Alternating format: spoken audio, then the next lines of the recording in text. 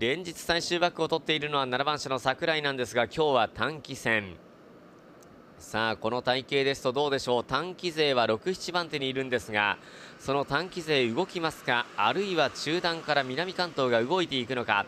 ただ伊藤としてもご覧のように4番手が取れておりますので伊藤もこの辺りは動きづらいでしょうか？誘導を使って2番の岸川その岸川も何度か後ろを振り返っているんですけれども隊列決まって変化はなく後ろからの仕掛けがありません。金が入って3コーナーから4コーナーまだ誘導が残っています。最後方から7番車の櫻井櫻井飛び出していくか。ただ前では2番の岸川もペースアップ。